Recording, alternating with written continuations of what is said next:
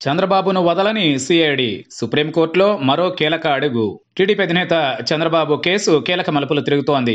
సుప్రీంకోర్టులో ఒకే రోజు రెండు బెంచ్ల వద్ద వాదనలు జరిగిన తరువాత అక్టోబర్ మూడున విచారణకు నిర్ణయించారు. ఇదే సమయంలో సిఐడి ఈ కేసులో మరో అడుగు వేసింది. సుప్రీంలో కేవియట్ దాఖలు చేసింది. చంద్రబాబు పిటిషన్ పైన తమ వాదనలు వినకుండా నిర్ణయం తీసుకోవద్దని కోరింది. దీంతో ఈ వ్యవహారంలో అక్టోబర్ మూడున సుప్రీంలో విచారణ ఏ నిర్ణయం వెలువడుతుందనే దానిపైన ఉత్కంఠ కొనసాగుతోంది.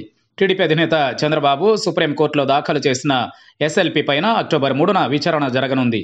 ముందుగా ఈ కేసు నిర్ణయించిన విధంగా జస్టిస్ సంజీవ్ ఖన్నా ధర్మాసనంలోని న్యాయమూర్తి ఎస్విఎన్ భట్టి బెంచ్ ముందు లిస్ట్ అయింది.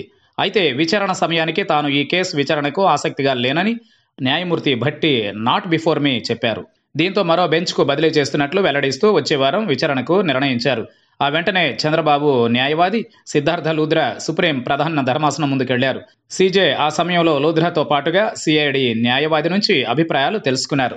చంద్రబాబు అరెస్టు సమయంలో అనుసరించిన విధానం పేర్కొన్న సెక్షన్లు పదిహేడు ఏ అంశం ప్రస్తావనతో పాటుగా అసలు ఎఫ్ఐఆర్లో పేరు లేకుండా అరెస్టు చేశారనే అంశాలను వివరించారు.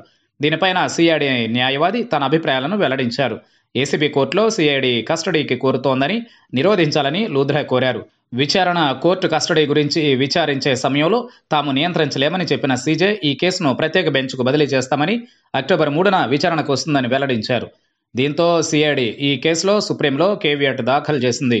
చంద్రబాబు దాఖలు చేసిన ఈ పిటిషన్లో స్కిల్ కేసులో చంద్రబాబుపై నమోదైన ఎఫ్ఐఆర్ పైన స్టే ఇవ్వాలని జ్యుడిషియల్ రిమాండ్ను సస్పెండ్ చేయాలని ప్రస్తుత విచారణ ప్రొసీజర్ జరుగుతుందని అది పూర్తిగా నిలిపివేయాలని అభ్యర్థించారు. అక్టోబర్ మూడున సుప్రీంకోర్టులో చంద్రబాబు పిటిషన్ విచారణ ఏ బెంచ్లో జరగనుందనేది లిస్టు కావాల్సి ఉంది. అయితే ఆ రోజున అన్ని అంశాలను పూర్తిగా విచారించి నిర్ణయం తీసుకుంటారని సీజే చెప్పారు. ఇప్పుడు సిఐడి కేవియట్ దాఖలు చేయడంతో రెండు పక్షాల వాదనలు కోర్టు ముందు వినిపించనున్నారు. ఇదే సమయంలో ఏసీబీ కోర్టులో చంద్రబాబు కస్టడీ బెయిల్ పిటిషన్లపైన అక్టోబర్ నాలుగున ఏసీబీ కోర్టులో విచారణ జరగనుంది. సుప్రీంలో జరిగే విచారణ నిర్ణయం ఆధారంగా ఏసీబీ కోర్టులో విచారణ విషయంలో నిర్ణయం జరిగే అవకాశం కనిపిస్తోంది. ఇక చంద్రబాబు దాఖలు చేసిన ముందస్తు బెయిల్ పిటిషన్లపైన ఏపీ హైకోర్టులో విచారణ జరుగుతోంది. లోకేష్ బెయిల్ పిటిషన్ పైన విచారణ జరగనుంది.